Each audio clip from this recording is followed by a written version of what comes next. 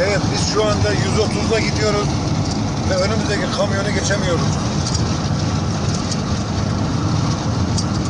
Yol istiyoruz yine vermiyor. Ama yok.